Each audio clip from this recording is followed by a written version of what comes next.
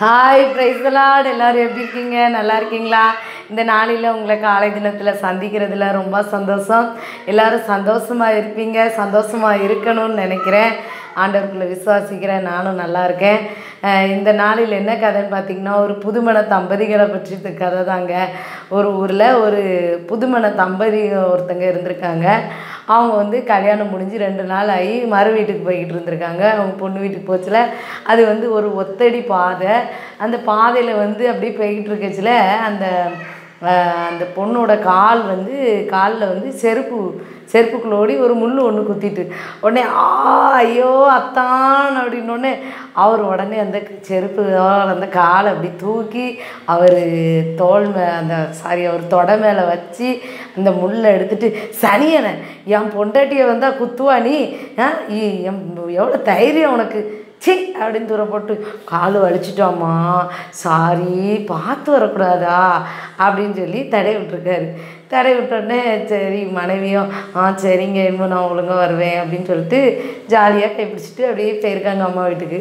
அதுக்கப்புறம் சில நாட்கள் ஆச்சு மூணு வருஷம் ஆச்சு கல்யாணம் முடிஞ்சு. கல்யாணம் முடிஞ்சு மூணு வருஷம் ஆகி திருப்பி ஒரு நாள் அவங்க அம்மா வீட்டுக்கு வந்திருக்காங்க. வரும்போது அதே ஒத்தடி பாதையில் வந்துட்டு இருக்கும்போது அதே மாதிரி முள் குத்தி இருக்கு முள் குத்தினோடனே ஆ அத்தான் அப்படின்னோடனே சாணியே என்னத்துக்காவா? பார்த்து வர வேண்டியதானே முள் குத்திட்டான் முள் எடுத்து தூர போடு.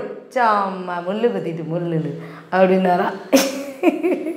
கல்யாணம் முடிஞ்ச புதுசில் முள் வந்து சனியனாச்சு மூணு வருஷம் கழித்து பார்த்தீங்கன்னா இது அந்த அம்மா வந்து சனியன் ஆயிட்டாங்க. இதுதாங்க வாழ்க்கை. மனிதனுடைய அன்பு இவ்வளோதான் ஆனால் நித்திய நித்திய காலமாக அன்பு வச்சுருக்கோம் நாங்கள் நம்ம ஏசப்பா ஒருவர் தாய் தகப்பனும் கைவிட்டாலும் மனைவி கணவர்மார்கள் கைவிட்டாலும் பிள்ளைகளே நம்மளை கைவிட்டாலும் என்னன்னைக்கு ஒரே அன்போடு இருக்கிறவங்க ஏசப்பா மட்டும்தான்.